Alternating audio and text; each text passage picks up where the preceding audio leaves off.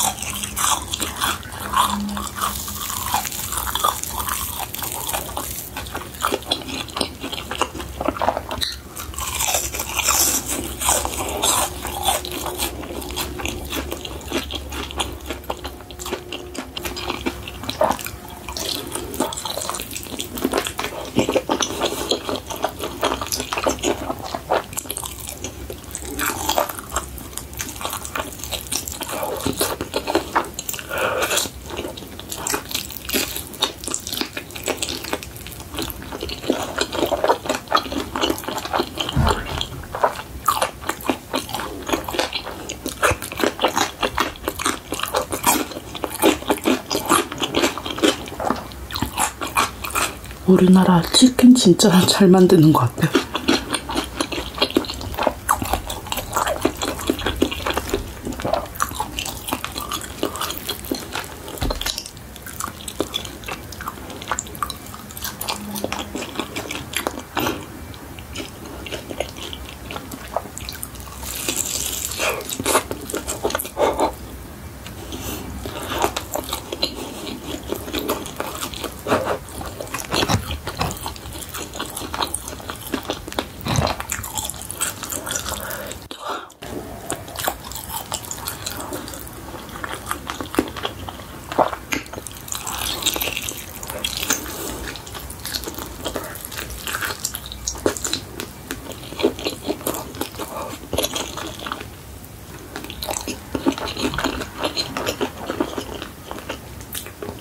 Bye.